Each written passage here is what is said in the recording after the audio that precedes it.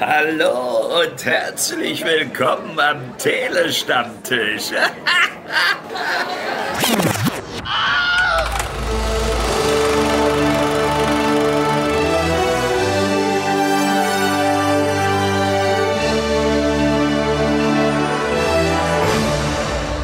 Zusammengeschusterter Unsinn, der mehr Rosamunde Pilchert als schwärmt. So bezeichnete Bestsellerautor Frank Schätzing Vorab die Verfilmung seines Weltbestsellers Der Schwarm. Das Ganze lief ja nun im ZDF an insgesamt vier Abenden und auch schon etwas früher in der Mediathek. Wir konnten ja auch noch ein wenig eher reinschauen und ja, haben uns nun den Rest gegeben. Und wer sind wir? Wir sind heute eine relativ große Runde, zum Teil ähnlich wie in unserem Ersteindruck, in den ihr natürlich auch sehr gerne reinhören könnt. Aber ich stelle uns mal der Reihe nach vor. Da wäre zum einen ein, wie auch schon im ersten Cast, ein relativer Neuzugang beim Tele-Stammtisch, aber ich finde es echt toll, dass er hier wieder bei ist, der David Nabend.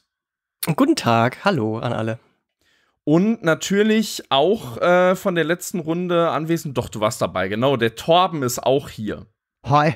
Und last but not least, jemand, äh, der neu jetzt hier in der Runde ist, der auch schon mal, ja, so unregelmäßig eher bei uns zu hören ist, aber er ist natürlich auch herzlich willkommen und hat auch, glaube ich, einiges zu sagen zu dieser Verfilmung von Der Schwarm, nämlich der Manuel.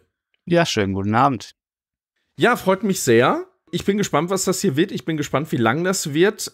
Kurzer Disclaimer. Äh, wer das Ganze natürlich noch nicht gesehen hat, also noch nicht zu Ende gesehen hat, das hier ist ein reiner Spoilercast. Wir haben alle acht Episoden Intus. Ich habe so viele Intus, dass äh, es mir wieder rausquillt überall. Und äh, ich bin gespannt, wo das hinführt. Aber wie gesagt, reine Spoilerwarnung, sowohl für diese Verfilmung als auch eben das Buch, auf dem das Ganze basiert.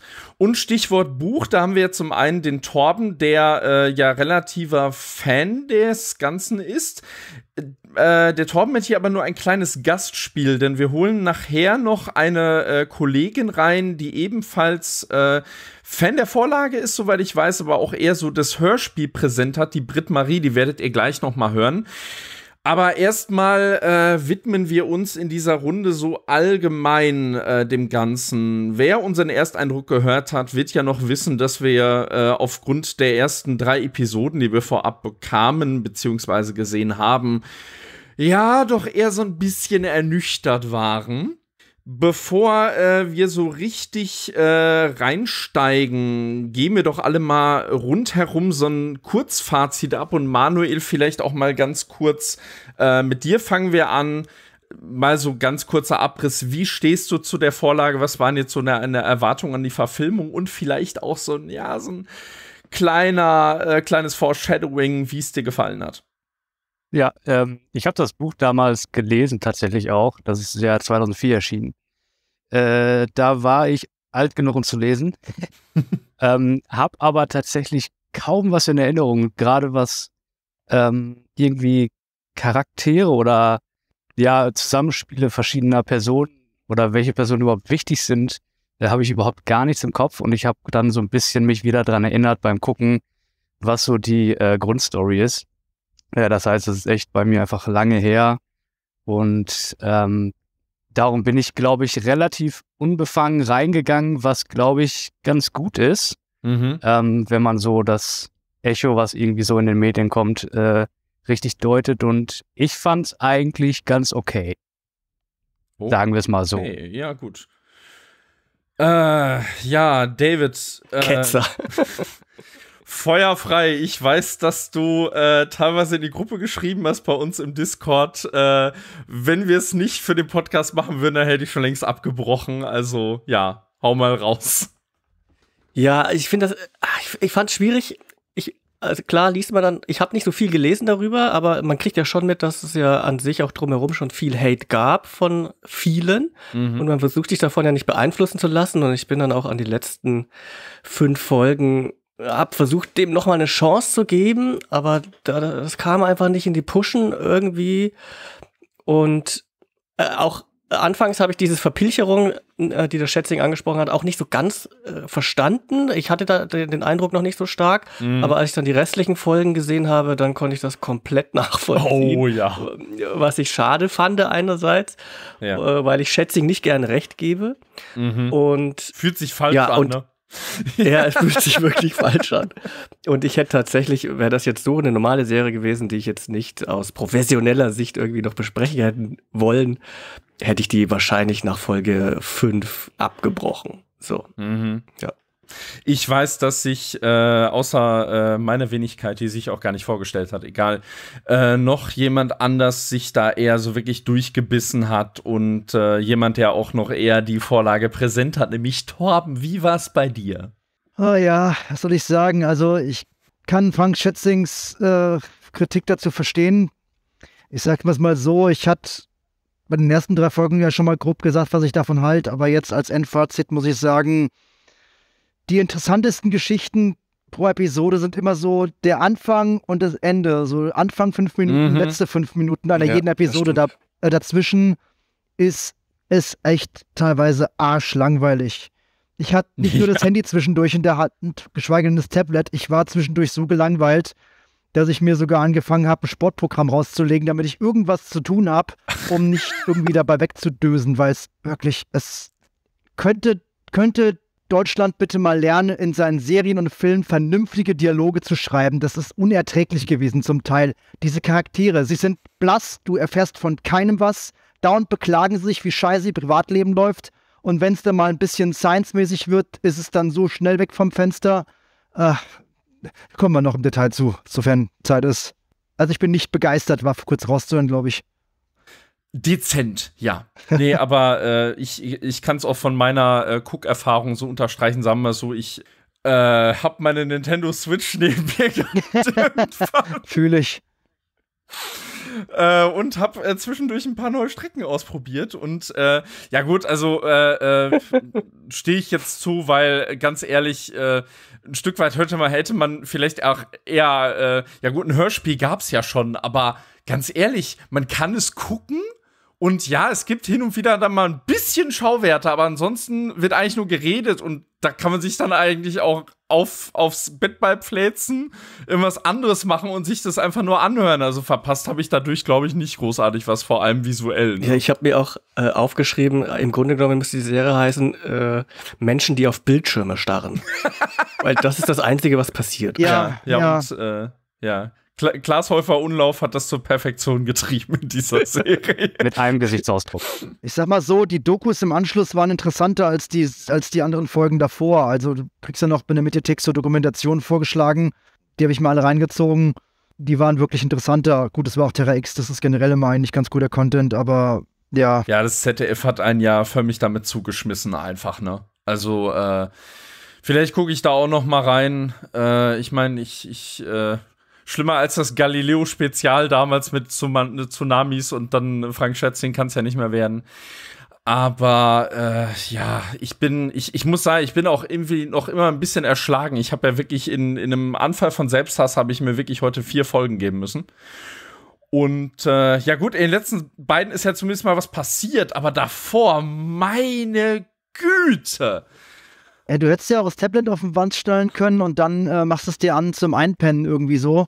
Abends, weil du verpasst halt auch so gut wie nichts. Ja, also, es, ach, wirklich. wirklich. Aber wo, wo, woran liegt das einfach, ey? Das, also wirklich, ich. Äh, man, man kann mich ja gerne Lügen strafen, aber ich hatte wirklich das Gefühl, dass bis, bis zur sechsten Folge teilweise noch Neufiguren eingeführt werden.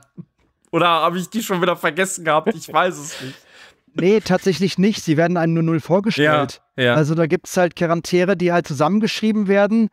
Es gibt noch ein zweites Forscherteam, was noch an Land forscht und eher so den Science-Weg noch ein bisschen sucht. Das fehlt komplett. Mhm. Es wird alles auf dem Seeweg gelöst. Und dann gibt es halt noch so diesen, diesen, ich nenne ihn jetzt mal vorsichtig Öko-Radikalen, den Grey Wolf, der. Ja, der ist komplett ähm, weg. Der eigentlich im Buch einen ziemlich präsenten Part einnimmt. Der ist hier zwar drin, aber ja, der, der steht da einfach nur da so rum. Der hat nicht groß was zu tun. Äh, der wird gerade im Buch noch ein bisschen der tragische Held, Anführungszeichen, gerade auch. Also so viel sei gesagt, im Buch ist der ähm, Bodycount wesentlich höher, auch unter den Protagonisten. als das, was wir hier gesehen haben. Welcher war der Charakter in der Serie? Das war auch ein, äh, mit, das war auch einer mit Ureinwohnerwurzeln. Äh, Inuit-Wurzeln würde ich mal schätzen. Und ein Kumpel vom, vom, von Lian. Ah, okay. Der steht mal ein paar Mal an diesem Besprechungstisch da, als sie schon auf der Torwaldson sind. Mhm. Und er hat halt nichts zu tun, er ist halt nur da. Und wie gesagt, der ist im Buch schon eigentlich seit dem Angriff der Wale dabei, wo er noch versucht, die Touristen da Ja, zu verjagen, weil er, wie gesagt, so ein, äh, so ein Greenpeace-Verschnitt da repräsentiert. Und das fehlt hier komplett. Also, ja. Aber Manuel, äh, kommen wir vielleicht mal zu dir. Du meintest ja, hat, hattest du deine Erwartungen aufgrund des äh, wirklich teilweise vernichtenden Presseechos äh, runtergeschraubt oder wie war das? Nee, eigentlich nicht, weil wir haben ja das, äh, die Screener waren ja schon relativ früh, die wir bekommen haben. Das war ja alles vor der Berlinale. Mhm. Ich glaube, da war ja eigentlich noch gar kein Echo da. Und danach war das Echo dann eher so, dass sich halt alle draufgestützt haben und welche Twitter-Posts rezitiert haben und keine Ahnung was und einfach so einen Shitstorm losgetreten haben. Das fand ich dann generell irgendwie nervig und deswegen, Mhm. weiß ich nicht, schlage ich mich vielleicht automatisch so ein bisschen auf eine andere Seite. Ich gehe auch bei sehr vielen Kritikpunkten mit. Also es ist ja nicht so, dass ich äh, die Serie jetzt als die größte Serie, äh, die Deutschland je produziert hat, herhalten würde. Das merkt man leider null. Ja. Ähm, aber ich finde, also ich, ich finde zum Beispiel gerade technische Schwächen, also es sieht teilweise einfach nicht gut aus. Teilweise sind sie ja irgendwie nicht mal mit dem Boot aufs Wasser gefahren gefühlt, sondern haben da irgendwie schlechtes CGI reingeballert. Mhm. Ähm, ich glaube, mein Vorteil ist wirklich, dass ich äh, von den Charakteren aus den Büchern mich an gar nichts erinnern kann. Und die Charaktere, die da sind, sind okay. Es ist alles nicht super tiefgründig, aber ich fand auch diese ja, Pilcherisierung jetzt nicht übertrieben schlimm. Das ist halt zwischenmenschliche äh, Dialoge und Beziehungen zwischendurch gibt, fa- fand ich jetzt nicht nervig Mhm. ähm, und auch nicht in dem Maße zu, zu übertrieben. Und ich fand es eigentlich ganz, äh, ich habe mich nie gelangweilt, auch beim Gucken tatsächlich. Ich weiß nicht, wie ich das geschafft habe anscheinend. Du hattest keine Switch. Ich musste gucken, ja. ähm, und ich fand es eigentlich immer ganz nett, dass man so am Anfang, also der auf, die ersten, was war, sechs Folgen sind auf jeden Fall viel zu lang. Das kann man natürlich alles deutlich kürzer machen und man merkt halt, dass es ein deutsches äh, CDF-Produktion ist.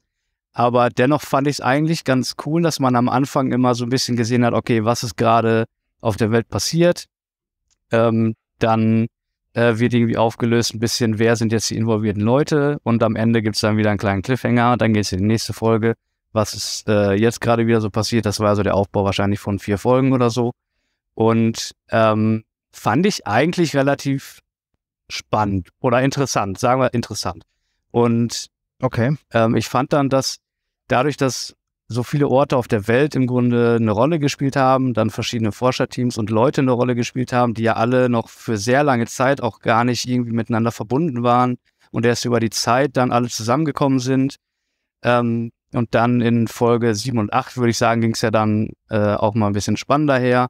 Ähm, fand ich das eigentlich alles ganz okay, muss ich sagen. Ich habe da nicht so die, äh, die äh, Hassprobleme wie andere oder wie auch immer man es nennen möchte. Aber ich fand genau das ein Problem. Also äh, an sich natürlich schön, um da, da die Dimension groß zu machen, dass es weltumspannend ist, aber es dauert halt sechs Folgen, bis die alle zusammenkommen. Ja. Und äh, dadurch, das hat Ja, ja auch stimmt. in der Eingangsbesprechung ja auch schon gesagt, es ist zu zerfasert, zu zergliedert, äh, man springt zu sehr von einem Handlungsort zum anderen, man weiß gar nicht mehr, wer steht der zu wem. Und dann werden auch so komische Dinger da eingebaut, wie äh, dass dann der Professor sagt äh, zu diesen japanischen Unternehmen, können Sie mir ein Treffen mit dem und den ausmachen? Mein, du hast zehn Minuten vorher mit ihm telefoniert, ruf den doch selber an. Also, warum muss das jetzt wieder über den Dritten gehen, damit wir den nochmal eingebaut Ja, haben in die Serie, weil ja. die Japaner ja auch was bezahlt haben. Da dachte ich mir auch, ah, das ist ja komisch. Also, äh, du hast doch Ja. lang und breit ihm telefoniert, warum musst du jetzt da nochmal eine Erlaubnis fragen, dass der das organisiert? Die Japaner, die wirkten auch so implementiert. Äh, also ja, klar, die haben natürlich auch ihr Stück vom Kuchen und wollen es dann auch ausspielen, aber Das wirkte irgendwie merkwürdig und sowas kennt man, also äh, Japaner werden mich dafür hassen, aber sowas kennt man eigentlich eher, wenn Hollywood irgendwie versucht, China irgendwo reinzupressen. ne? ja. Äh, ja. Wo dann irgendwie, oh, die chinesische Medizin ist die beste aller Zeiten oder irgendwie sowas in Iron Man 3 damals, ne? Ja, oder bei Mac mit Jason Statham. Ja, oh Gott, hör auf, hör auf. An, an dem musste ich teilweise sogar denken.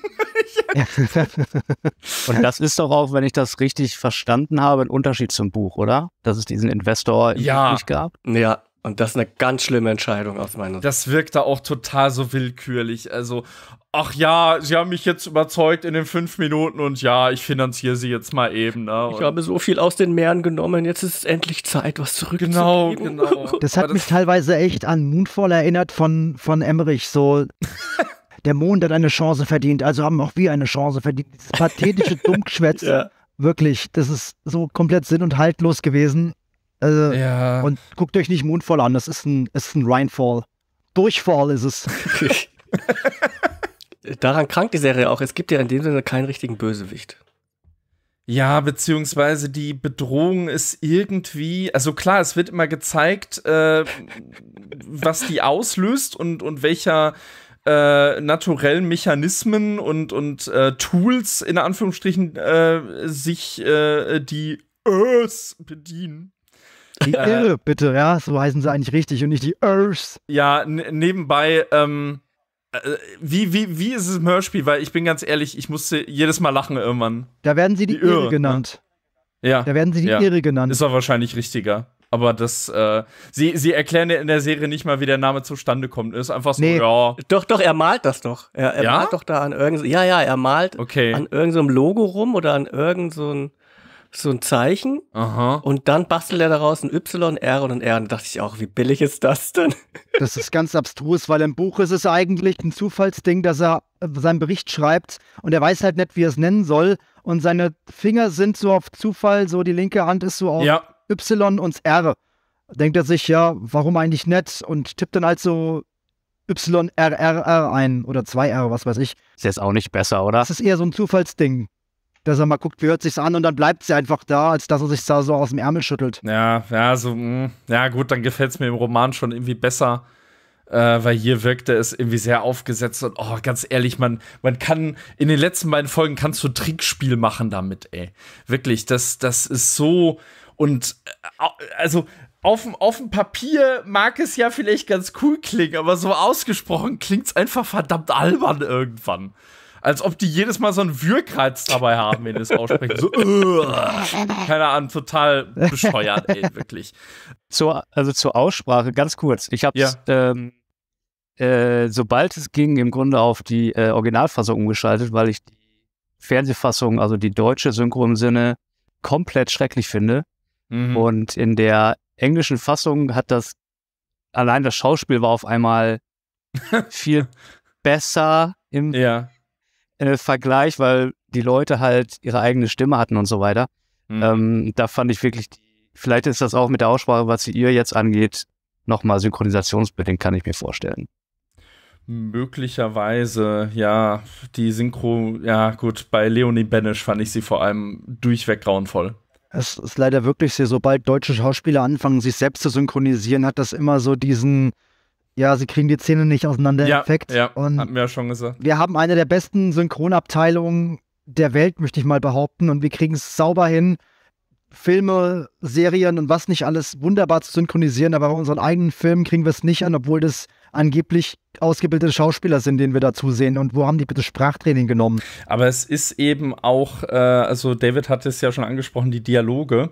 Und nicht nur die Dialoge, äh, sondern auch die Stimmung, die da so transportiert wird. Also bei vielen, also das ist einfach auch so frustrierend. Du merkst, dass das teilweise eigentlich echt gute Schauspieler sind. Also Oliver Masucci zum Beispiel, auch wenn er wirklich nichts zu tun hat. Aber Großteil spielt von der Stimmung her viele Szenen immer absolut gleich. Das ist so eine, so eine Flatline bei manchen. Die haben auch eigentlich immer nur einen Gesichtsausdruck und auch keine wirkliche Persönlichkeit. Und dadurch bist du halt so, es, es ist dir wirklich scheißegal. Ja. Also, meine Güte, mir, mir waren Figuren schon lange nicht mehr so egal wie in dieser Serie. Das ist ja, was ich meinte. Du erfährst nichts über die. Die machen halt kaum eine Wandlung durch, labern ihre Texte so blutleer runter. Ja. Aber ich bin auch gerade, ich fand den Cast zwar mega interessant, aber ich bin so enttäuscht auch von, ja gut, der Schauspieler kann eigentlich auch nicht viel mehr machen, als dass das der Regisseur zulässt oder im Drehbuch steht. Mhm. Aber auch Anawak, die Buchkeller werden senken, was ein geiler Typ. Nee, wo wir gerade wieder beim Anfangsmotto waren. Männer, die auf Bildschirme starren, denn was anderes macht der gefühlt nicht. Entweder statt auf dem Greenscreen Ja. oder auf dem Bildschirm. Es ist, ja, das weiß ich nicht. Ich glaube, er ist auch ein bisschen zu jung gecastet, oder? Der kann vielleicht sogar was, aber das hast du halt hier nicht sehen können, leider. Aber man hat so ein bisschen bei ihm immer das Gefühl gehabt, also mit ihm konnte ich am wenigsten anfangen tatsächlich. Und bei ihm hatte ich immer das Gefühl, er ist jetzt hier der totale, übelste Wahlexperte Mhm. und ist irgendwie, was, 25? Und ich mir so, okay, wo kommt das jetzt her? Ja, auch so, wo er. mal irgendwie studiert Mhm. und äh, auf einmal ist er da der, oder was heißt auf einmal, er wird so dargestellt, als wäre er irgendwie der größte Wahlversteher. Das weiß ich nicht, wie das jetzt im Buch ist, aber das fand ich halt so ein bisschen unpassend. Dadurch war das halt wenig glaubwürdig. Ja, auch wie er dann da einmal über seine Faszination für Wale spricht und dann so, oh, ey, denke ich mir so. Also, das, das mag jetzt fies klingen, auch in Hinblick auf, auf, auf so, sag ich mal, die ethnische Herkunft, aber mich hat der teilweise an Taylor Lautner aus Twilight erinnert. Das stimmt nicht. Also- er hat immer ein T-Shirt getragen. Taylor Lautner hat eine T-Shirt-Allergie. Ja, gut. Da gut. wisst ihr mehr als ich. Aber das, also wirklich, das ist, boah, nee. Das war teilweise echt ganz schlimm. Und das, das, das war auch so eine Figur, da dachte ich mir echt so, ey, komm, du stehst doch jetzt auch nur im Raum und verbrauchst Luft eigentlich. Also, das ist. Äh, naja, ähm, wir haben aber noch ein bisschen was auf dem Programm. Äh, Torben, hast du denn noch so äh, Punkte, die du äh, gezielt wirklich ansprechen möchtest? Auch vielleicht im Hinblick auf die Vorlage. Also, da gibt es einiges. Ich, ich will auch nicht so sehr ins Detail gehen, weil ich auch nicht weiß, was Britt-Marie da so auf dem, auf dem Kasten hat oder Mhm. vorbereitet hat. Mein Anteil ist ja auch wieder begrenzt. Ich gebe das Zepter ja auch äh, heute früher ab. Hat mir schon gesagt. Musst du den Flieger Was kriegen. Mich, genau. Hier, hier steht über Wetten das. Ich bin der Glasläufer Humlauf, der die komplette Ja. Sendung bleiben muss. ZDF. Nee. ZDF passt doch. nee, nee, um Gottes Willen. Also, ja, Glasläufer Umlauf ist. Ich sag mal so, Edelstatist. über seinen Humor kann man streiten, meiner ist er jetzt nicht, aber er ist nicht schuld daran an der, an der Vorlage, wie sie jetzt, äh, an der, an der Umsetzung der Vorlage, wie sie geworden ist. Und das, nee, das was mich wirklich ankotzt, ist, dass es ZDF halt wirklich die Grundvorlage hatte. Sie hatten alles Material, was sie brauchten. Dieses Buch ist über 1000 Seiten lang. Mhm. Es ist völlig in Ordnung, dass sie, dass sie Leons Selbstfindekurs bei seinen Urahnen da gekürzt Sehr haben gut. oder dass er halt nicht gezeigt, wie sich Wasserpartikel von den Gletscherspalten bis hin zum Ozean äh, da aufspalten und verhalten. Aber was mich halt nervt, sind halt so Sachen, da gibt es halt diese Felsnase und darauf äh, eine reale Angst, mit der wirklich gespielt wird im Buch. Und die es auch, glaube ich, sogar gibt, so bei Sri Lanka, Costa Rica. Ich, ich habe den Ort jetzt nicht mehr im Kopf, bitte reingrätschen, wer es weiß von euch. Mhm. Da gibt es diese Felsnase, durch die sich diese Würmer eben unter anderem fressen. Und die kracht dann ab und die geht auf in einem gigantischen Tsunami, mit dem Europa halt ein sagenhaftes Problem hätte und im Buch auch hat. Also Ja. das, was man uns hier in dieser Serie von diesem Tsunami zeigt, ist wirklich ein Witz. feuchter Witz ja. im Vergleich zu den Dimensionen, die wir im Buch haben. Klar ist mir auch bewusst, das ist vielleicht nicht so zeigbar, aber daran möchte ich es echt gern festmachen. Du hast da gerade bei diesem Tsunami, du hast dann noch diese kitschige Szene, wie unsere Hauptprotagonistin da so die Hand reicht, ihr Freund noch so die Hand aus dem Auto reicht, sie streifen sich kurz und fahren dann so auf den Strand zu.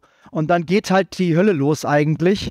Und dann siehst du noch so eine völlig unnötige Zeitlupe auf ihr Gesicht, wie so die Augen immer größer werden, kurz bevor eben da der Teufel los ist. Mhm. Dann siehst du den Tsunami und ja, du siehst nicht wirklich, was die Folgen sind. Und du hast so unglaublich viel Zeit zwischen dem Erzählten, zwischen Anfang und Ende, dass du es immer nur so fünf Minuten anpitchst und du von keiner dieser Katastrophen wirklich eine, K- eine Konsequenz siehst. Dieser Krabbenschwarm, der taucht einmal auf, es spielt nie wieder eine Rolle. Ja. Der Tsunami, es spielt nie wieder eine Rolle. Dieser Quallenschwarm vor Venedig wird nie wieder gezeigt, was damit ist. Die Pandemie, das fucking Trinkwasser wird vergiftet. Leute, wir haben es jetzt alle drei Jahre lang miterlebt, was es bedeuten kann. Allein schon, was das für eine Riesennummer dann war, alltäglich davon zu berichten und seriöse Meinungen und Wissenschaftsorientierung war gar nicht mehr möglich. Mhm. Das ist hier mal so ein Thema, das passiert einfach. Ah ja, gut.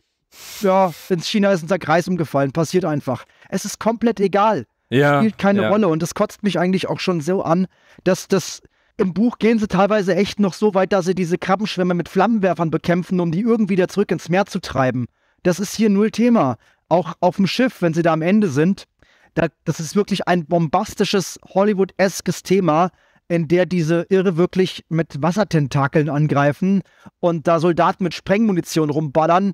Das siehst du hier null. Da ist, das ist, sorry, aber das ist echt eine Frechheit, Die haben, wie die teilweise damit umgegangen sind. falsch Ich gekürzt. saß echt da. die Ja, haben die Action absolut. rausgekürzt und den Dialog drin. Ja. Meine erste Reaktion war ja eine Disco-Gruppe, äh, eine Discord-Gruppe. Was zum Henker? So nach dem Motto, was habe ich mir gerade angeguckt? Ja, vor allem das Ende, das ist, äh, da, da müssen wir eigentlich auch wirklich mal gesondert drüber sprechen. Also auch wahrscheinlich bitte. dann im Ja, Hinblick bitte, auf die ist- Vorlage. Äh, wobei wir müssen ja äh, Britt Marie da noch ein bisschen äh, Wasser äh, übrig lassen. ja, gleich zum Ende kommen, dann haben wir die, kann ich ihr die Bühne überlassen oder wie oder was haben wir für Punkte auf der Ordnung? Äh, ganz wie du möchtest. Also, das, was du loswerden möchtest, werd es los. Nochmal zu den Längen, wirklich. Ich Mhm. finde es teilweise unbarmherzig, wie sie mit dem Zuschauer umgehen, wenn sie da x-mal diese Videobotschaft äh, von wegen, ja, ja, ich hoffe mal, wir können wieder Party Oh, machen. furchtbar! Natürlich, Furchtbar! du, ich hoffe, du hast nur keine Zeit, weil du mit diesem heißen Typen unterwegs bist. Und es wird unbarmherzig jedes Mal durchgespielt, wo, Ja. wo selbst die Protagonistin noch zurückspult, weil die letzten zehn Sekunden interessant sind, weil sie im Hintergrund eben dieses Leuchten sieht. Nein, jedes Mal. Ein wird's 40 Sekunden und was durchgezogen. Eiskalt. Der Zuschauer wird hier echt gefoltert.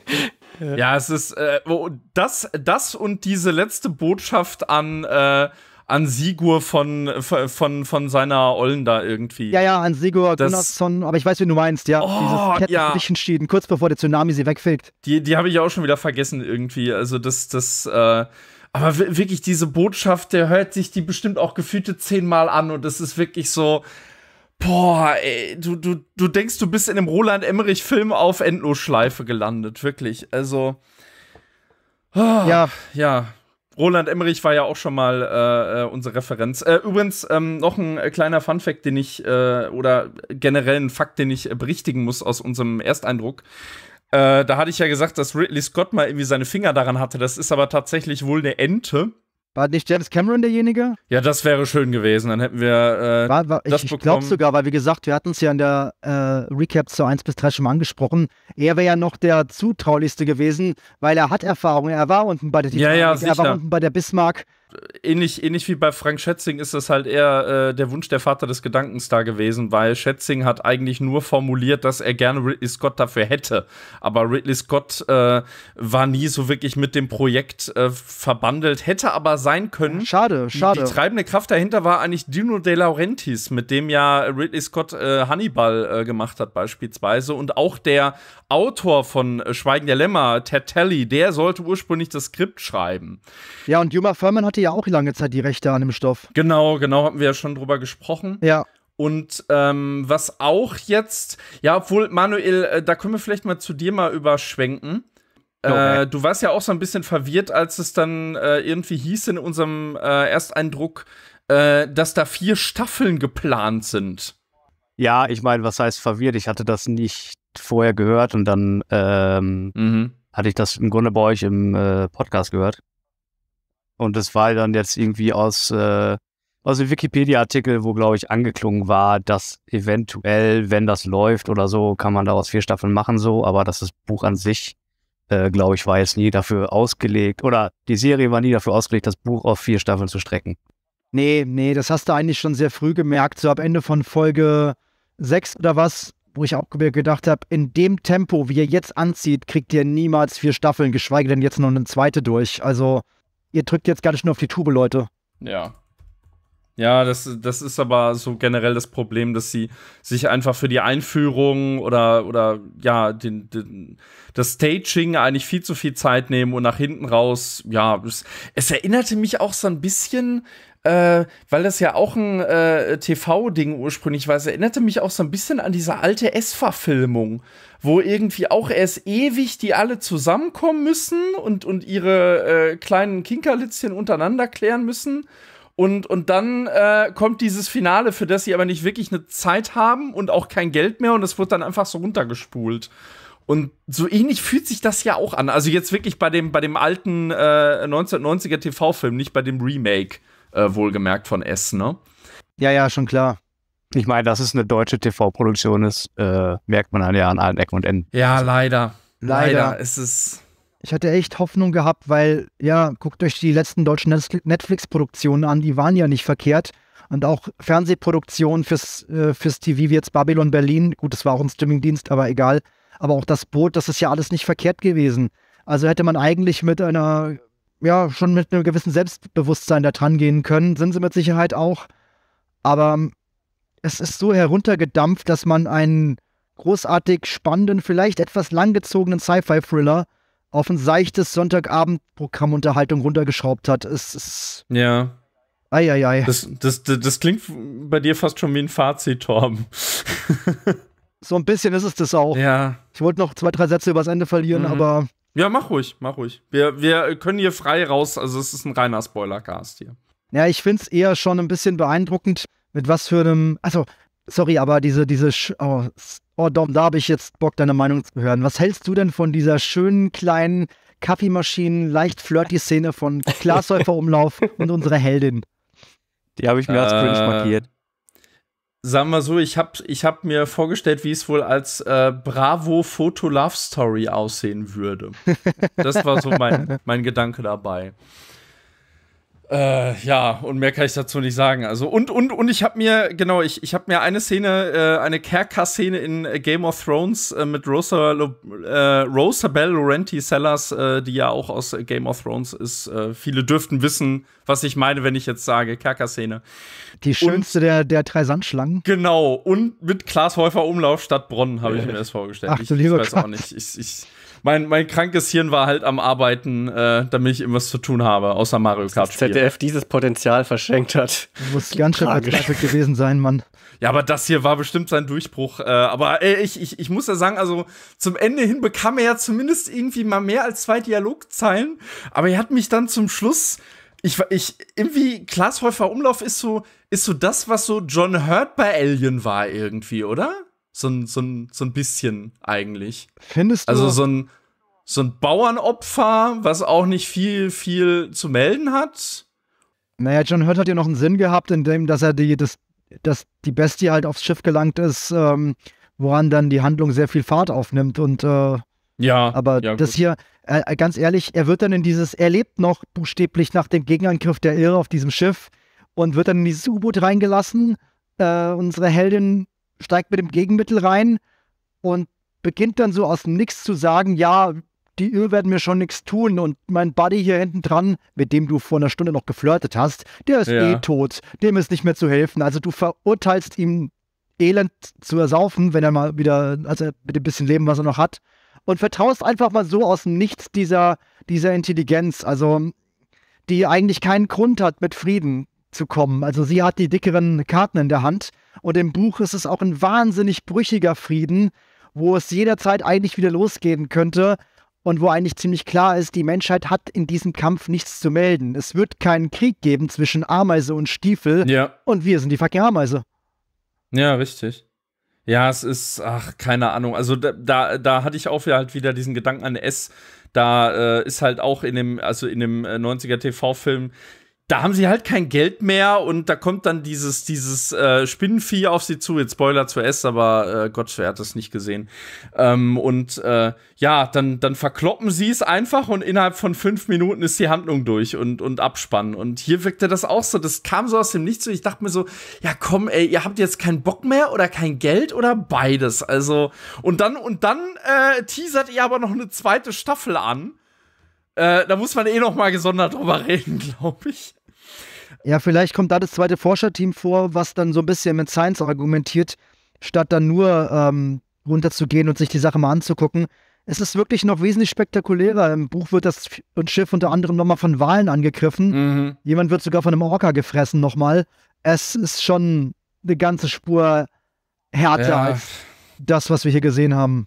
Vor allem das Schiff ist ja schon ganz anders. Hier ist ja so ein Forschungsschiff und dann, äh, im Buch sind ja so ein Navy-Kriegsschiff mehr oder minder. Ich glaube sogar ein Flugzeugträger oder so. Ja, ich glaube, es heißt Ja. sogar ganz anders, ne? Independence oder sowas hatte ich dann nochmal drüber geschaut, aber das könnte auch sein, weil die, die nehmen sogar ein Schiff, was schon, was schon, die Irren nehmen sogar ein Schiff, was schon am Boden liegt und benutzen die Torpedos von dem Ding, das ist ganz krank. Ach, Also, man hätte viel draus machen können. Die Ich haben hab-. Aber zum Glück, Ja. konnten wir sie ja mit dem Babygeschrei ein bisschen besänftigen. Ja, Ja, das zieht immer eine auf. kleine. War das im Buch? Äh, ich meine so ähnlich, oder? Äh, die machen das mit Mathe quasi, lassen die so ein Mathe lö- also Ja. und das Okay. habe ich halt auch nicht verstanden, weil Mathe ist ja so die universelle Sprache an sich. Äh, Aber was, was, was will so ein Irr mit so einem Babygeschrei anfangen? Ja, das, das hat auch keinen Sinn ergeben. Ja, Gar nichts. Also mit Mathe ist ja noch nachvollziehbar, dass man sich ja einigt, dass wenn wir mit einer fremden Intelligenz kommunizieren, dann wahrscheinlich eher mit der Sprache der Mathematik, weil es die eben. mit am logischsten nachvollziehbare ist auf vielerlei Ebenen. Und das wird ja komplett ausgespart. Äh, Ich habe das auch nicht verstanden. Warum sollte die Irr das in die Antwort einbauen? Also wel, wel- welche, äh, warum sollte die das tun? Äh, Also es ist ja kein Dialog dann. Also wenn man Ja, irgendwas geschrien wird, Es, schrei ich es- doch nicht es- einfach das zurück. ja, es, es, es, es ging ja darum, äh, was sie damit machen. Und dass das dann als Antwort verstanden wird, das war auch so ein bisschen. Das, Ein richtiger Dialog mit der Irr fand ja in dem Sinne gar nicht statt. das Ganze war auch so ein bisschen Arrival auf Wish bestellt irgendwie, ne? Also, Ja. das ist, Ja. Ja. Amy Adams, wenn wir sie einmal gebraucht hätte, ne? Und dann haben wir nur Leonie Benesch, ja.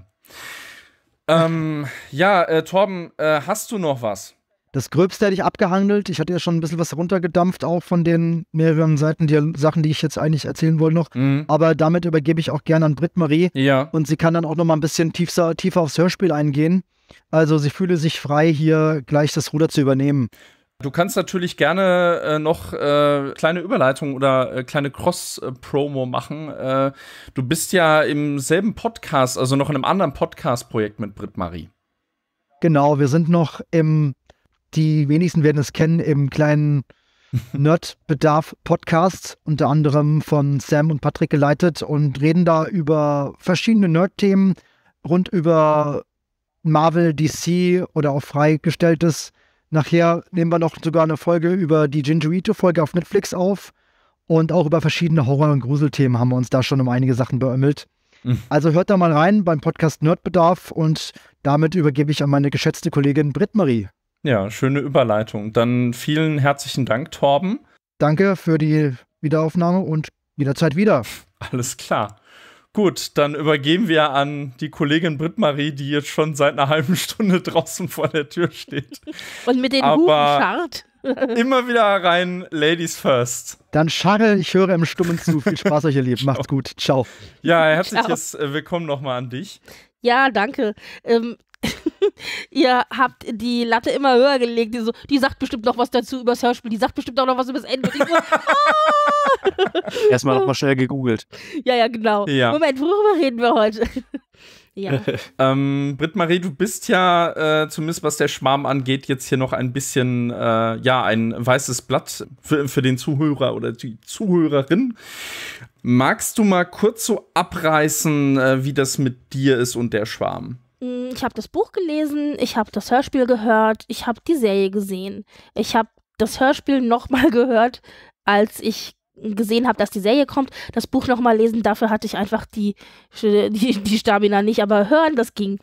Und äh, ja, und das ist mein aktueller Stand. Kurze Zwischenfrage, wie lang ist denn das Hörspiel? Oh, ach, einige Stunden.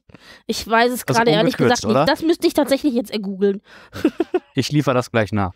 Vier, sechs, so um den Dreh rum. Zwölf Stunden. 723 Minuten laut Wikipedia. Na, siehste, haben wir total unterschätzt gerade. Aber äh, ja, ich höre die halt äh, oft ähm, nebenbei, wenn ich irgendwas anderes mache, keine Ahnung, bügeln, kochen, Mhm. waschen, äh, saugen oder eben aber schlafen.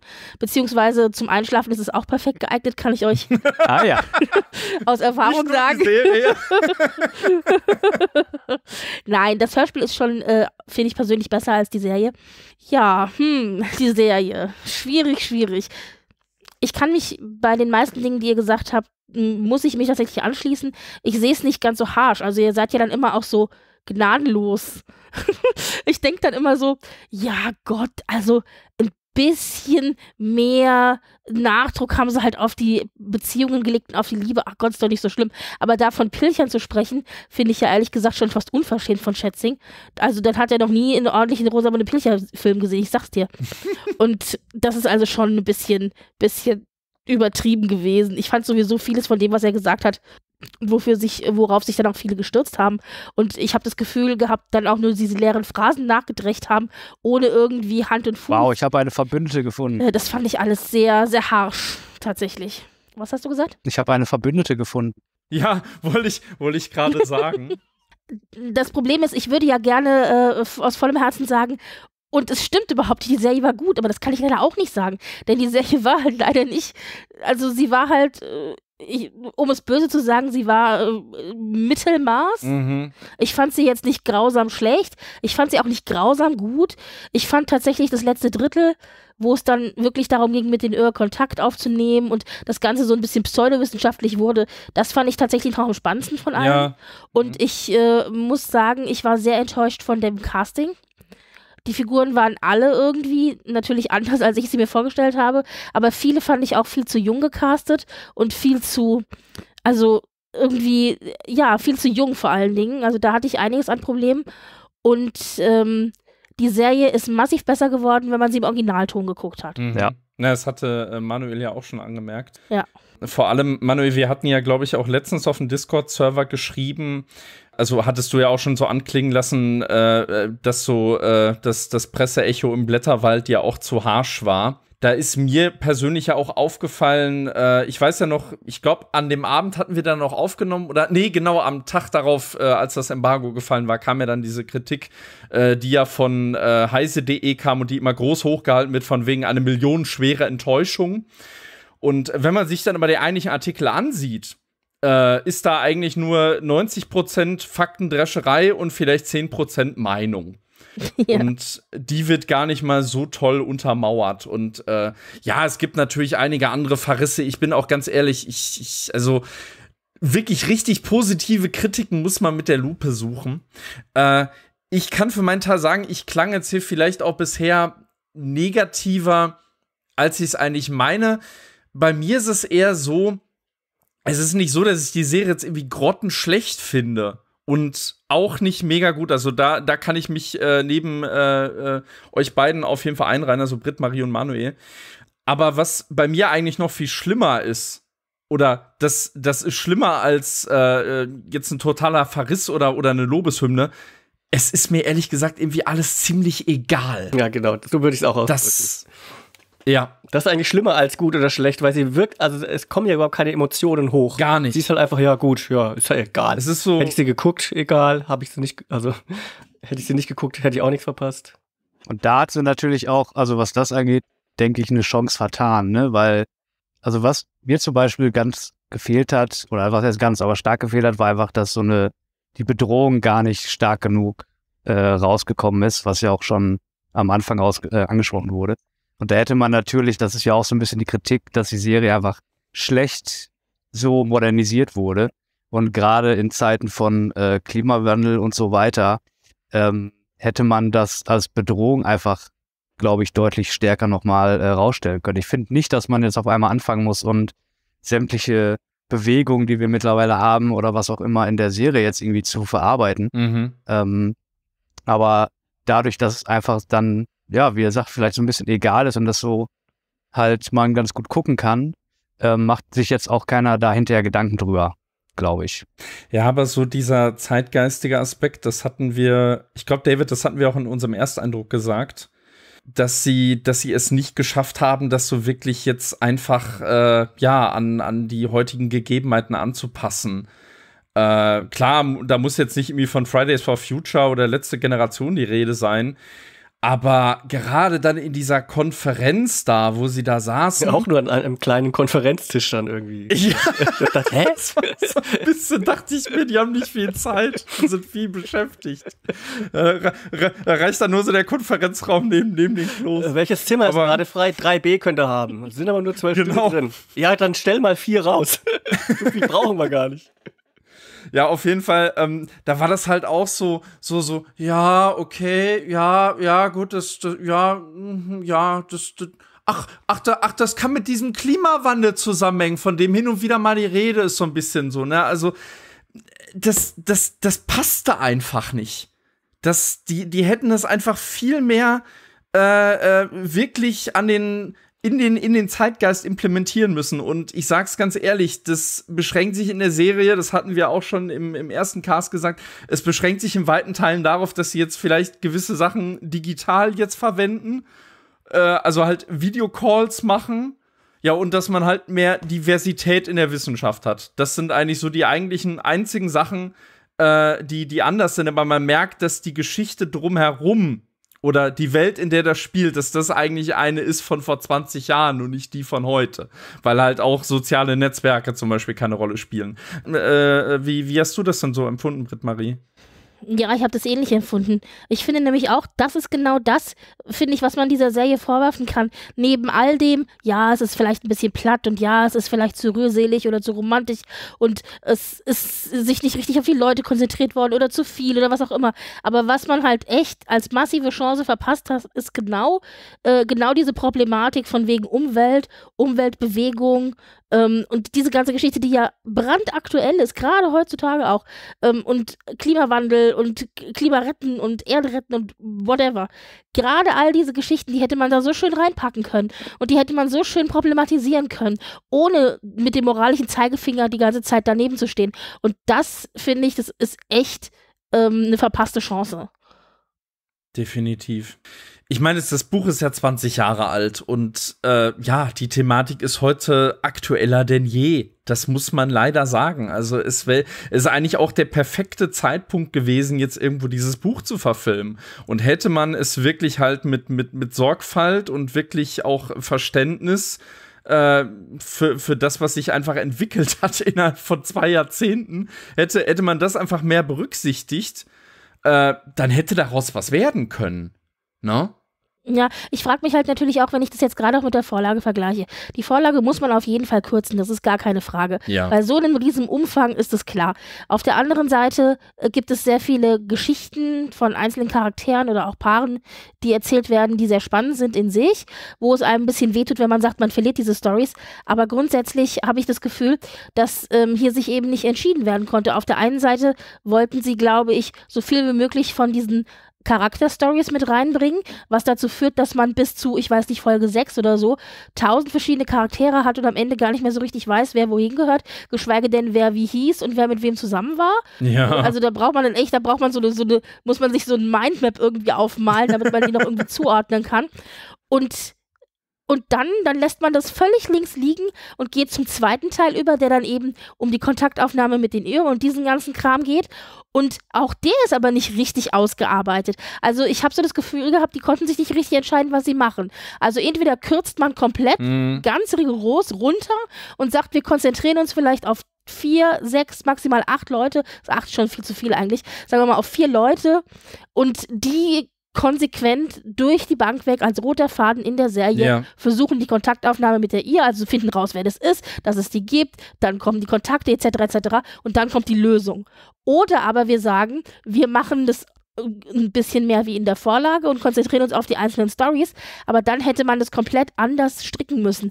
Ähm, dann hätte man vielleicht sich überlegen müssen, macht man vielleicht eine Folge pro Paar oder Ja. pro Charakter oder legt man es auf doppelt so viele Folgen aus? Weil wenn man sagt, man möchte sich konzentrieren auf all diese Pärchen und Charaktere, die es in dem Buch gab, da reichen acht Folgen nicht aus für. Nee. Da hätte man mindestens verdoppeln müssen. Oder man hätte sich irgendwas anderes überlegen müssen. Aber dieses, so wie es jetzt gelaufen ist, das, das funktioniert halt einfach nicht. Und dadurch äh, hat, ist es nichts Halbes und nichts Ganzes. Ja, sie haben das, was du gerade meinst, haben sie zum Schluss halt. Also da merkt man schon, dass sie sich jetzt irgendwie auf einen gewissen Figurenkreis äh, konzentrieren. Aber dadurch wirken halt die anderen. Also, äh, ich meine, die waren halt schon vorher profillos, aber teilweise bist du wirklich am überlegen, ob die überhaupt noch dabei sind Ja, auf dem, ja, ja. auf dem Schiff. Und eigentlich ist das so die, die große, ich, ich, ja, Reunion passt jetzt nicht, aber das, also, das, das ist halt auch wieder ein bisschen wie bei S, ne? Aber da haben die halt alle irgendwie ihre Aufgabe und ihr, ihr, ihr Stück vom Kuchen beizuleisten. Und hier, ja, weiß ich nicht, da sind halt manche, die, die stehen halt im Bild und, und sind halt da. Also, das ist auch, David, du meintest das ja ähm, schon in, in unserer ersten Besprechung, dass äh, äh, hier dieser Charakter, diese äh, Charlie, Charlie irgendwas, weiß ich gar nicht mehr. Wagner. Charlie Wagner, genau. Ich hätte beinahe Charlie Hübner gesagt, keine Ahnung. Es ist spät. ZDF. Die ist ja, glaube ich, schon irgendwie zusammengesetzt aus mehreren Figuren aus dem Buch, meintest du, ne? Ja, ich glaube, sie nimmt halt auch so ein bisschen den, äh, diesen Part dieses anderen Ureinwohners ein, der ja so stark beschnitten worden ist. Mhm. Aber an sich ist sie ja ein ganz neuer Charakter. Ja, Ähm, eigentlich der Hauptcharakter, so fast. Eigentlich der Hauptcharakter, Ja. genau. Und ich, äh, ich, ich fand das auch so. Ich, eigentlich äh, am Ende, wo man ja sieht, wer so alles auf dem Schiff landet, auf die hätte man sich konzentrieren sollen. Man hätte durchaus die Partner und sowas, die dann ja alle im Laufe der Zeit verstorben sind, ja auch reinpacken können. Aber wirklich, damit hat sie ja schon gekrankt von Anfang an, dass man die so zerschnippelt hat, diese Serie, Folge für Folge. Ja. Man hätte wirklich jede Folge einfach einen vorstellen sollen in seiner Umgebung, was er herausfindet. Ein, zwei Katastrophen in seinem Umfeld, nächste Folge, nächste Katastrophe in einem anderen Umfeld. Er findet was heraus und dann alle Fäden zusammenlaufen lassen. Aber so war das wirklich so ein Kuddelmuddel, was auch wirklich genervt hat. Aber alle Leute, die dann später verstorben sind durch irgendeine Katastrophe, haben und man wusste sofort, okay, der stirbt gleich, weil sie immer noch schon eine schöne Abschiedsrede gekriegt haben. Da dachte ich mir, oh Gott, muss das sein? Ja, das, Das ist, das, ist, ist euch das auch aufgefallen? Ja, da, da, ich, ähm, das, das ist doch, glaube ich, so, ähm, kurz bevor sie auf das Schiff steigen, ist doch dann irgendwie, ja, falls jemand noch mal nach Hause fahren und sich verabschieden will. Da, da merkst du halt, sie, sie haben wirklich, also das hat keinen Rhythmus. Das hat keinen Rhythmus. Das sind einfach nur aneinandergereihte Szenen, einfach nur hintereinander abgearbeitet. Da, daran merkt man halt wieder das ganz wirklich elementare Problem der ganzen Serie, nämlich einfach das, das Pacing oder äh, die, die Gewichtung der, der verschiedenen Handlungsstränge, die man, die man überhaupt nicht irgendwie äh, äh, auf einer Hand jonglieren kann und auf der anderen sind dann noch welche, die es im Buch ja gar nicht gibt. Ne? Beste Beispiel diese Japan-Handlung, Ja. die äh, man eigentlich komplett hätte cutten können. Ja. Ich, also, bis kurz vor Schluss habe ich nicht verstanden, wofür gibt's die eigentlich? Ja, gut, für den Investor, aber oh, ja, schön. Wir hatten ja auch bei der Eingangsbesprechung gesagt, wir fanden das an sich so von der Diversität her äh, natürlich gemacht Mhm. und äh, äh, weiß es gibt ja immer dieses Wort äh, Wokeness, dass man dem das jetzt nicht vorwerfen kann. Nee. Aber gegen Ende fand ich das schon so ein bisschen Japan-Washing. Ne? Äh, einer jetzt nicht mehr, aber einer der größten Walfänger darf sich dann auf einmal als der Retter der Welt äh, darstellen. Das fand ich schon, das hatte schon ein bisschen kleines Geschmäckle. Mhm. Und an sich auch, wenn wir davon sprechen, die Gefahr für die Welt, die von der Irre ausgehen. In der Serie selber, oder ist mir vielleicht auch schon wieder entfallen, eine richtig größere Stadt, außer Venedig, hat es ja gar nicht getroffen. Insofern war das auch immer allen egal. Also so eine richtige Ausmaß auf die Welt wurde gar nicht gezeigt. Irgendwo auf dem Meer haben ein paar Wale irgendein kleines Schiff angegriffen. Gut, Venedig, das wissen wir eh alle, ist im Untergang geweiht, ob mit Quallen oder ohne, das wird irgendwann mal einfach überflutet. Das heißt, das haben wir eh schon so abgehakt.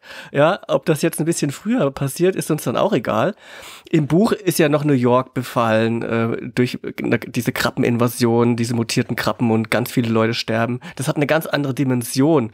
Und äh, hier, ja, da haben sie, setzen sie halt drei Leute von irgendeinem UN-Unterbeirat, Beirat, Beirat, Beirat dahin, der sich damit beschäftigen kann, äh, um das mit denen auszutüfteln. Ja. Damit aber dann der japanische Retter kommt und sagt, ach komm, ihr habt so viel Öl da rausgezogen. Ja. Ich, ich stelle euch ein Schiff zur Verfügung. die, die, die globalen Ausmaße, dass das einfach nicht fruchtet, das kam halt äh, vor allem durch mit, mit diesem so in letzter Minute reingeschobenen Tsunami, der mal irgendwie halb Nigeria abgeräumt hat. Und dann steht da so Oliver Masucci, mein Gott, das Ding hat gerade halb Westafrika irgendwie von der, Und man zeigt aber nichts. ja, man, man, man zeigt es irgendwie anhand von, weiß ich nicht, Stock-Footage, was sie irgendwie eingekauft haben. Und dann sitzt Oliver Masucci da mit so einem, so einem, so einem halben Heugesicht. Und dann dieser, dieser Appell von ihm, wirklich, da, da kommt nichts. Und ich, also auch se selbst die Figuren um ihn herum, er, er äh, äh, keift sich da irgendwie einen zusammen. Und alle stehen da so, hm, ja, ja, ist, ist, ist halt so. Shit happens, ne? Also, boah, das war wirklich so. Ah, und ich meine, manche Sachen zeigen sie ja zumindest so im Anschnitt. Und es war ja auch, das war zumindest ganz okay, auch wenn es halt wieder so, so an Roland Emmerich-Filme gemahnte, ne? Ähm, aber vor allem dieser Tsunami, den wir halt gesehen haben, ich bin ganz ehrlich, der ist bei mir total. Der ist bei mir verpufft. Wirklich. Die haben den ja auch so gehypt. Ich meine, seit dem ersten Trailer sehen wir diesen Tsunami und dann kommt er erst, weiß ich nicht, in Folge 5 oder so. Mhm. Und da denkst du, also allein schon dieser, dieser Trailer und dann äh, immer dieses, wie sie es proklamiert haben, das hatte eigentlich auf so eine Action-Serie so ein bisschen hingewiesen. Mhm. Und deswegen war die Fallhöhe, glaube ich, einfach auch recht hoch. Also es wurde dann halt keine Action-Serie und keine Katastrophenserie, sondern es wurde eine ja, Menschen starren auf Bildschirme, machen Homeoffice und äh, verabschieden sich von ihren Liebsten Ja. und sterben dann. Und dann lachen sie aber einmal in der ganzen Serie, wenn sie mit Glashäufer umlaufen, Kaffee trinken. Oder sie sterben halt nicht, was ja jetzt nämlich uns zum Ende führt. Mhm. Ja. Ähm, um mal kurz hier den Sprung zu machen. Denn dieses Ende, also zuerst einmal habe ich irgendwie nicht so richtig verstanden, warum die Lösung ist, die Leiche voll zu spritzen mit, Ketamin. also mit Ür quasi. Mhm. Oder, nee, also mit, die haben ja da mit, mit Ür voll gespritzt, oder? Ja, ja, genau. Und, Glaub und ich den dann da äh, ins Wasser rauszulassen, so nach dem Motto, wir zeigen damit, dass wir eins sind. Ach, das haben sie ja im? Buch aber auch versucht oder so gemacht, so ähnlich, aber da haben sie abgewandelt. Richtig, im Buch war es aber, finde ich, besser erklärt. Und da ging es auch um Sexuale, Hormonstoffe und so ein Kram. Also da spielte noch ein bisschen was anderes eine Rolle. Mhm. Aber ähm, grundsätzlich ähm, fand ich das, also irgendwie war mir das alles so ein bisschen, das hinkte alles ein bisschen. Und ich fand aber zumindest haben sie die richtige Figur, gewählt, die sich dann geopfert hat. Ähm, weil man hatte ja noch diese schöne Rede gegeben, ihr habt es ja gesagt mit den Reden, wo sie halt erzählt hat, dass, ihre, dass sie sich ja ihren Eltern immer so verbunden fühlt, weil die ja im Wasser ertrunken sind. Und sie dann das Gefühl hat, sie geht quasi zu ihren Eltern zurück und vereinigt sich wieder mit ihrer Familie. Das ist dann schon ein bisschen kitschig, das gebe ich ja zu. Mhm. Und ähm, ja, aber dann die Tatsache eben, also erstmal, dass man dann da dieses Bild gesehen hat, wo sie da wie so ähm, in der Wiege von diesen Sterndingern im Wasser äh, Oh, gegeben war. Ja, Und dann, also dieses Bild dachte ich so, was ist das denn? das wirkte wie so Aaron, Aaron, äh, Darren Aronofsky auf Wish, muss ich leider sagen. Also das, das war echt so. Also das hätte man sich ja recht sparen können. Ja. Und dann am Ende halt, als sie dann da angeschwemmt wird und die Augen öffnet, ich meine, das war schon eine nette Szene. Es war zumindest ein guter Cliffhanger, aber es war auch ein, ein totales Warum? Total Ich meine, unbefriedigend. Ich kann dir sagen, Eigentlich. warum. Weil Staffel 2. Also ich meine, das öffnet ja jetzt eben die Tür zu Staffel 2. Ja, ja. Sonst gäbe es ja keinen Grund. Ja. Ach, ich weiß auch. Ja, aber man braucht sie nicht für zwei, also man hätte das nicht gebraucht für eine zweite Staffel, wenn man sie wirklich durchziehen will. Vor allen Dingen die Die Frage anderen haben ist, ja alle überlebt. woraus würde denn jetzt theoretisch, also ich glaube nicht, dass die bei den Einschaltquoten eine zweite Staffel machen, aber woraus hätte denn eine zweite Staffel dann bestehen können? Also aus der Kommunikation mit den Ö oder was? Also Mm, ich weiß es nicht. ja. Ja, es gibt ja einiges im Buch, ihr weggelassen Ja. habt. Vielleicht nehmen Sie das dann her. Ich meine, im Buch manifestiert sich dieses Irre ja auch zu einer Art Muskelmasse und kann sich ja ähnlich wie bei The Abyss, dass das Mhm. Wasser bewegt, quasi so als Muskel rumlaufen und Leute angreifen und Mhm. Dinge tatsächlich anfassen und bewegen. Das ist ja in der Serie auch äh, mehr oder minder ausgespart, außer Mhm. es ist in, im Körper einer Qualle oder eines Krebses oder was auch immer. Mhm. Das haben sie ja hier nicht gemacht, dass das eher tatsächlich dann so eine Art seine Ei- Einzellen da verbindet und dann eine eigene Masse wird, ein neues Lebewesen. Mhm. Wobei ich zugeben muss, das sah zumindest noch ganz. Da dachte ich mir auch so, hat, hat Cameron vielleicht das Buch gelesen und danach The Abyss gemacht, aber. Oder, oder dann. Ja, bis war früher. Aber ich wollte gerade sagen, äh, ihr zitiert halt auch alle Dinge, die sind schon 20, 30 Jahre alt. Also das darf man halt. Ja, ja, das sicher. Ist halt, ja, sagt auch viel. An was mich das ja stark erinnert hat, es gibt ein Buch von Michael Crichton, Die Gedanken des Bösen, und da wurde auch mal verfilmt mit Sphere, mit Dustin Hoffman und Sharon Stone und Michael äh, äh, äh, Samuel L. Jackson. Mhm. Den habe ich mir extra danach jetzt nach der Serie nochmal angeschaut. Die, die Verfilmung war jetzt auch nicht so dolle, da ist das Buch auch deutlich besser. Mhm. Aber auch in diesem Film sind die unter Wasser und werden dann von Quallen angegriffen und der Film ist von 1990 irgendwas, 97 oder sowas. Und die Quallen schauen da halt einfach, da sind auch tausende von Quallen, zumindest laut Bild. Und die sind halt praktisch gemacht und das schaut also viel, viel besser aus als in dieser Serie, Mhm. wo ich mir auch gedacht habe, wieso habt ihr euch das denn nicht mal angeguckt? Mhm. Weil viel teurer wird das da auch nicht gewesen sein. Ja, sehr schade. Also ich fand im Vergleich zu allem anderen, was man in den Serien, äh, in den Episoden vorher gesehen hat, ging das äh, sogar noch halbwegs klar am Ende. Also ich fand sämtliche Szenen, wie wo man den übertriebenen äh, Bluescreen mega raussieht oder wo der Wal da auf das Boot springt oder so einfach absolut grausam. Äh, da fand ich das jetzt am Ende eigentlich noch ganz ansehnlich, muss ich sagen. Da hatte ich jetzt eigentlich Ja, gar das, keine Probleme das mit. hatte, Das, hat, das hatte sowas, äh, ich, ich hatte ja schon gesagt, der Aronofsky. Ah, ich, ich, mir, mir, mir war es einfach von der, von der Inszenierung her einfach auch echt zu pathetisch.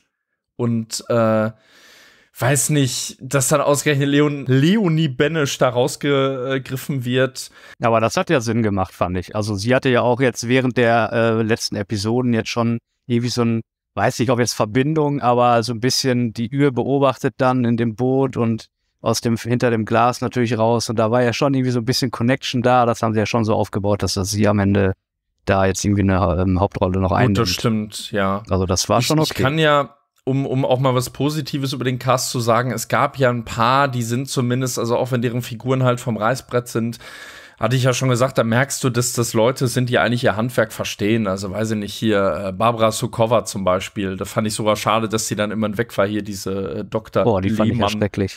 Ja gut, ihre, ihre Rolle war schrecklich, aber die hat die zumindest gut gespielt. Dann hier Cécile de France fand ich auch ganz okay. Ich fand halt diese, diese ganze Familienkiste fand ich halt total langweilig bei ihr. Und hier, äh, wie hieß die noch mal jetzt hier, die auch in äh, Sharon Duncan Brewster, glaube ich, die auch in äh, Dune eine Nebenrolle hatte, mhm. äh, die diese Astrophysikerin gespielt hatte, die dann plötzlich so ja, Amy Adams äh, äh, hatte gerade keine Zeit, dann irgendwie so so ein of Arrival gemacht hat ein bisschen. Die, äh, die die hatte zumindest ein bisschen irgendwie Profil fand ich oder zumindest auch mal die die hat zumindest sogar so den den Ansatz oder die die Ahnung von sowas wie Humor oder Ironie mal eingebracht. Also, das, äh, das fehlt halt auch komplett und deshalb wirken diese Figuren einfach so, so, so leblos. Das ist wirklich ganz furchtbar. Also, da, da weiß ich auch einfach nicht, was da schiefgelaufen ist. Aber wenn man sich dann auch mal anguckt, ich weiß nicht, ist es euch beim Vorspann aufgefallen, ähm, dass bis, glaube ich, auf Folge 5 alle anderen Episoden immer vier Drehbuch-Credits hatten. Nee, habe ich nicht gesehen. Nee, habe ich auch nicht. Also, nee. ich nicht drauf Also, was geachtet. meinst du? Meinst du dann, äh, zu viele Köche verderben den Brei oder was? Möglicherweise, ja. Oder weiß ich nicht, ist x-fach umgeschrieben worden. Wobei, ja gut, du kannst natürlich jetzt irgendwie daher ableiten. Wahrscheinlich haben sich, äh, äh, weiß ich nicht, die, die haben das wahrscheinlich aufgeteilt und äh, jeder von denen hat dann irgendwie einen Handlungsstrang entwickelt und dann so durchgezogen. Mhm. Aber äh, dahingehend fand ich es dann wiederum komisch, dass dann Folge 5 dann irgendwie von zwei Autorinnen oder Autoren war, will ich mich jetzt nicht festlegen, äh, die dann nie wieder aufgetaucht sind, wo ich mir dann so dachte, aha, hattet ihr da jetzt Rewrites oder war das das ursprüngliche Skript oder das, das wirkte total chaotisch und ja, weiß ich nicht, dann ich meine, Writers Room, das ist ja heutzutage nichts Neues, aber vier Autoren an einem Skript, das ist schon hart. Und da kann man halt auch überlegen, ob die jetzt alle äh, zusammen daran gearbeitet haben oder ob das halt zig Versionen waren, die dann irgendwie völlig, völlig zerschrieben wurden. Äh, was dann im Hinblick auf dieses Hauruck-Ende vielleicht dann auch ein, äh, sich ein bisschen erklären mhm. würde. Naja, also ich glaube, wir, wir drehen uns ein bisschen im Kreis äh, aktuell. Also ich glaube, wir wissen, wir fanden es alle nur so mittelmäßig bis schlecht. Mhm. Ja. Ja, der Manuel verteidigt's ja äh, zumindest. Ja, also äh, ich fand's tapfer. Aber auch Manuel sagt doch, ich denke ähnlich wie ich auch, nicht, dass er es gut fand, sondern dass er es halt nicht so schlecht fand wie ihr, oder? Das ist ja, ist ja, ja ein genau. Unterschied. Ich finde es halt, ich finde es sehr unfair, es einfach so äh, niederzureißen, weil so scheiße ist die Serie nicht. Äh, sie hat Chancen verpasst und ich gehe auch bei ganz viel Kritik mit, aber man kann es sich auch angucken. Und sie ist, glaube ich, auch eher wahrscheinlich einfach für ein Publikum gemacht, das nicht wir sind. So. Ist aber nett, dass du nicht ZDF-Publikum gesagt hast. ja, die mögen, wenn es äh, Pilch hat. Aber ähm, ja, obwohl, da stelle ich mir auch so die Frage, äh, Zielgruppe, wer, wer, wer ist jetzt wirklich die Zielgruppe dafür? Weil der wissenschaftliche Kontext ist halt schon sehr äh, versimplifiziert, habe ich den Eindruck, oder simplifiziert. Und auf der anderen Seite ist es dann aber, ja, weiß nicht, an, an vielen Stellen einfach viel zu geschwätzig. Ich glaube, die Zielgruppe sind Menschen, die das Buch überhaupt nicht kennen. Ja, das auf Weil du kannst nur enttäuscht sein, wenn du das Buch kennst. Ja, ja, also, ja. Ja, das, das wäre mal interessant, wenn wir jemanden hätten auftreiben können, der äh, das Buch mag und äh, die Serie äh, ganz ordentlich fand. Also das äh, können sich gerne welche in den Kommentaren melden von euch äh, da draußen, aber man neigt ja immer dazu, etwas schlecht zu finden, wenn man die Vorlage kennt und die gut fand. So. Ja. Also, Das, aber hier ist halt wirklich, die Abweichungen sind eigentlich so teilweise gravierend, dass man eigentlich gar nicht mehr von der Buchverfilmung vielleicht sogar sprechen kann. Man hat dann, das ist so wie es basiert auf einer wahren Begebenheit und da und äh, und davon waren vielleicht dann weiß nicht äh, gut, äh, es gab einen Mann, der hatte eine Tochter, das ist die einzige wahre Begebenheit, der Rest ist frei erfunden. Ungefähr so wirkt das hier auch teilweise. Also es ist Ja. ja ke keine richtige, also man hat ein paar Ideen geklaut aus dem Buch, aber dann ansonsten dann trotzdem irgendwie sein eigenes Ding gemacht. Aber halt nicht so doll gemacht. Aber ja, ich wollte noch mal auch was Gutes äh, hervorheben. Ich fand, äh, was Oh. aber, wo sie auch eine Chance verpasst Hört, haben, hört. Fand, ich, ich fand, das war auch so ein spannender Aspekt, zu diskutieren, okay, rotten wir die Irre jetzt aus, wir haben die Möglichkeit, oder machen wir es nicht? Das war ja wirklich so ein innerer Konflikt zwischen den Parteien. Mhm. Das haben sie halt auch nicht schön ausgearbeitet. Das wird dann auch relativ ratzfatz verworfen. Das ist ja dann auch im Buch auch ein ganz zentrales Thema, weil hier sind wirklich zwei Parteien, die da äh, komplett konträr sind und jeder versucht seinen Standpunkt da durchzusetzen oder, oder seinen Plan da durchzuführen und äh, das ist ja grundsätzlich das, was da zur Action führt in dem Buch, Ja. dass man äh, die es gibt die eine Seite, die egal was komme, die ihre einfach vernichten will und ja äh, dieses Schadstoff ja im, im Geheimen erforscht hat, auf einem zweiten Labor auf dem Schiff, ist unabhängig von den anderen Forschern. Und das wird dann leider dann halt hier auch ausgespart. Es kommt ganz kurz hoch und dachte ich, oh geil, okay, vielleicht spalten sich jetzt die Forscher so in zwei Lager und jetzt kommt mal ein bisschen, ja, ein bisschen Spannung rein. Mhm. Aber ist ja dann auch nicht so passiert.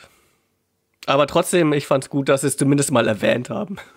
Ich glaube, da war die Serie schon zu weit fortgeschritten dann, ne? Also das war ja ja, voll, wahrscheinlich. eben. Sowas, sowas hätte man halt machen können, wenn man äh, die Handlungsstränge einfach schon viel eher zusammengeführt hätte und dann vielleicht auch einfach, ich meine, gewisses Konfliktpotenzial gab es ja sogar, also auch hier, äh, was vor allem Leonie Benischs Figur angeht.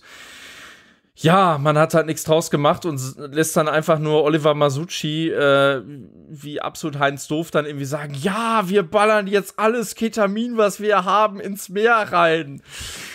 Oh, Mann, das war echt so. Und so richtig auseinander äh, damit gesetzt haben sie sich ja auch nicht. Sie sagen ja nur, ja, können wir nicht machen, so viel Ketamin haben wir gar nicht. ja, das.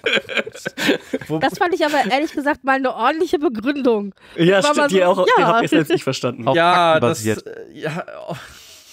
Es, Ja, aber das war keine Auseinandersetzung mit dem an sich. Sollten wir das überhaupt tun? ne? nee, so, nee. Ja, aber so viel haben wir gar nicht. Ah, okay. Ja, gut. Ach, das ist doof. Es, es, es wurden halt Aspekte aufgeworfen im Hinblick darauf, wenn wir die vernichten, wie wirkt sich das dann auf äh, ja, äh, die Ökosysteme, das, das, das Meer insgesamt aus und natürlich dann auch auf uns als, als Menschheit, ne?